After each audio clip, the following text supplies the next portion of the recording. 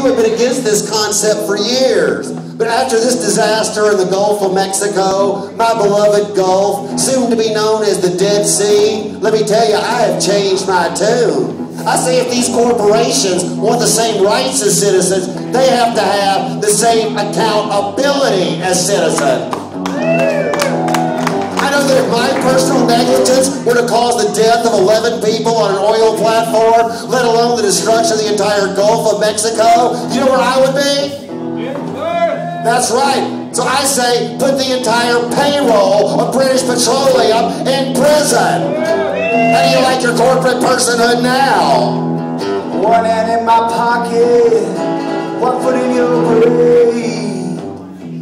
I don't want to just see the CEO go to prison. I want to see every congressional apologizer. I want to see every CEO, every CIO, every CISO, every CPA, every C3PO go to prison.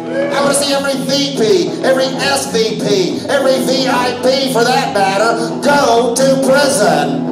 Make an example of them. Like you make an example of the guy who's sitting in prison for growing dope in his own apartment. If there's not enough room in the entire penitentiary system of the United States for the payroll of British Petroleum, let the guy who's in there for growing dope out to make room for the corporate guy.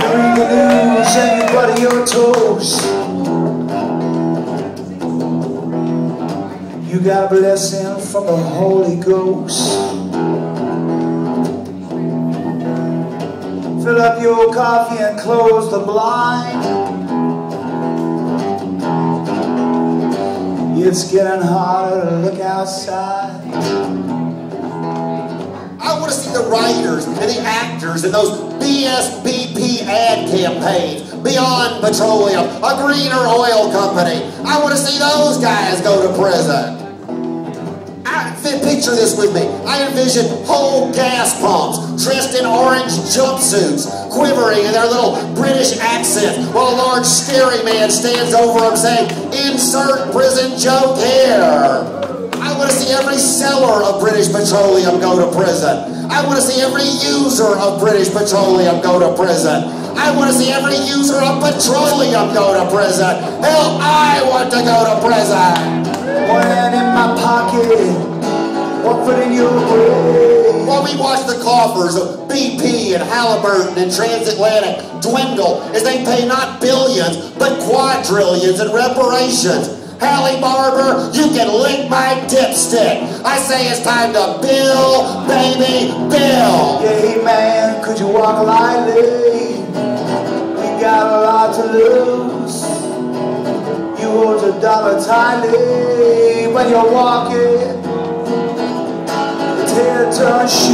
You guys need to hire every idle shrimp boat captain in Gulfport, Mississippi, and every uh, every out-of-work oyster fisherman in Corpus Christi, Texas. Not to mention every out-of-work seafood restaurant waiter in New Orleans to clean up your mess.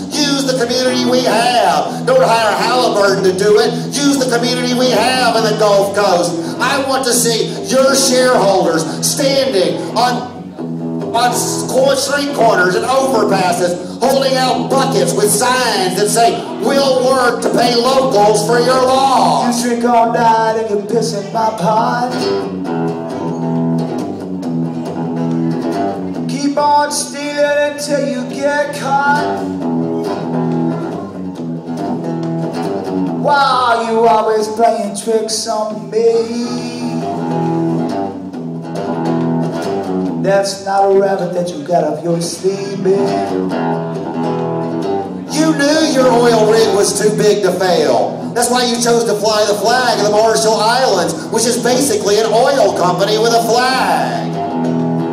One hand in my pocket, one foot in your. But since you did choose to fly the flag of the Marshall Islands, I say it makes you a foreigner. Hey man, could you walk like And ironically, now I find myself agreeing with the state of Arizona, and I say you should be deported when you're walking.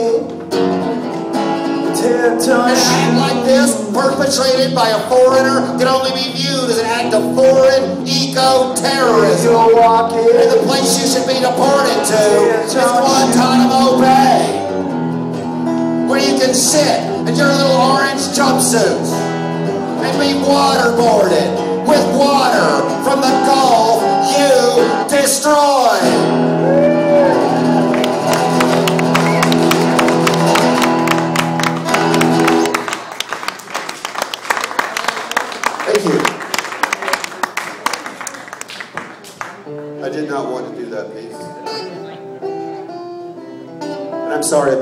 and Eliza mixed up as to which one was which.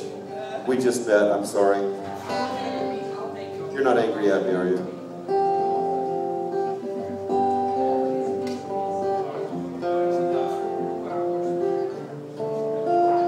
It's gonna be our last song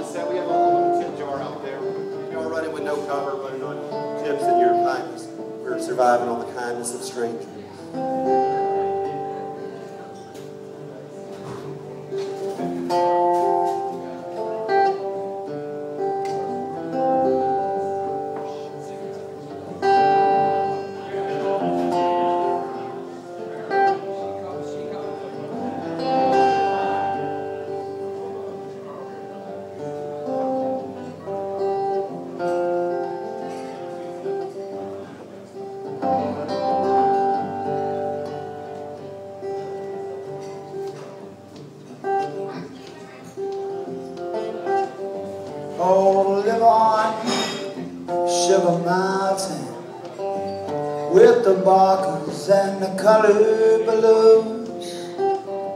You get me 20 on Sugar Mountain. Yeah, you're thinking that you're leaving there too soon.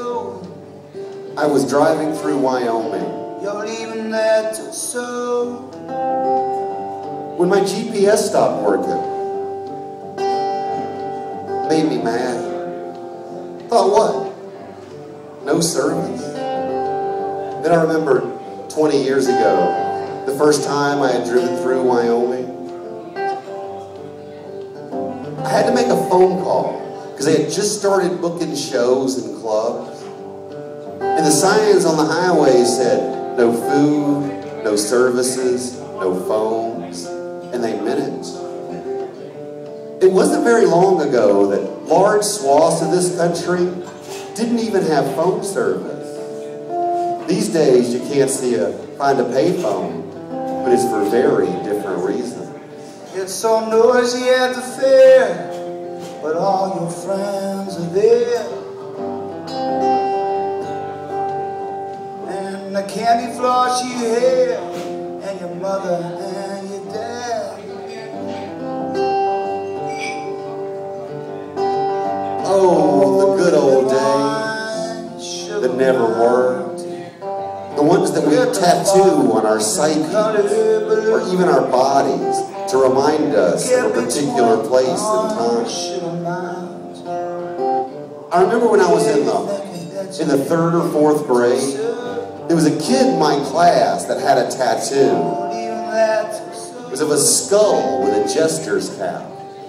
I was scared of him. I wanted to be like him. Then I thought, the skull with the jester's cap? You got to understand here that the Grateful Dead was not a part of my childhood. This was very unusual. The, the Jerry Garcia Transformer robot doll had not yet been marketed. There's a girl across the aisle, and you turn to see her smile. And you hear the words she wrote as you read the hidden note. Oh, how that image disturbed me. Skull with a jester's cap. Then I thought, what do you want your legacy to be? To go through this life making people laugh? Then after you die, you're still doing it? The image grew in my mind. It became bejeweled and beribboned. To this day, whenever I see a tattoo, it always pales in comparison to my memory of the one I had seen as a child. I was in my hometown recently and I ran into the kid with a tattoo and I got a chance to tell him how much it meant to me. That I spent the past 20 years of my life traveling around the country making people laugh. And I hope that after I die, I'll still be doing it. And I talked him into taking off his shirt and I saw it in all its reality. It looked like, like a prison tattoo. Thin lines hanging from aging flesh. He told me that he had done it himself with a sewing needle and a ballpoint pen and was considering having it removed. And I thought, laughter dies, not from, from age, but from vanity. And in this case, laser surgery. You're underneath the stairs and you're giving out some glares to the people that you met, and it's your first cigarette. Now, the reason that I was in my hometown was because I was visiting my mother. who was aging. bars and the color And my siblings told me that it was time to come visit, and I did.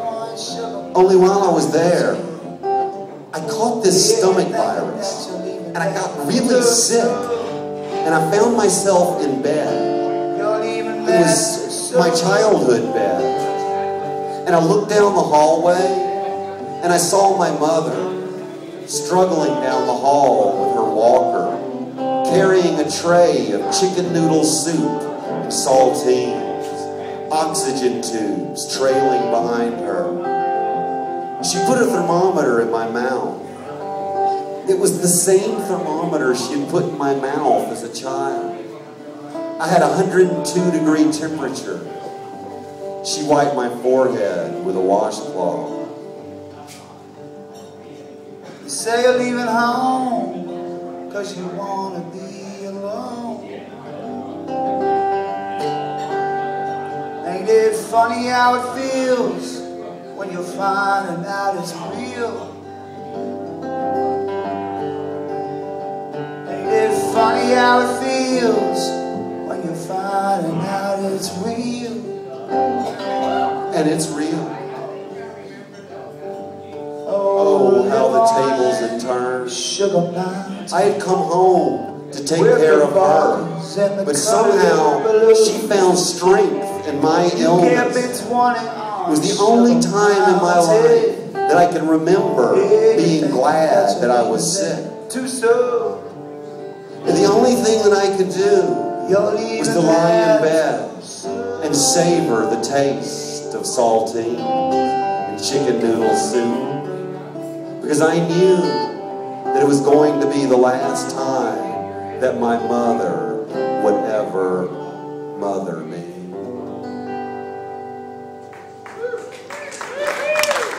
you very much. It's been a pleasure performing for you on this first set. We're going to come back and do a whole other set.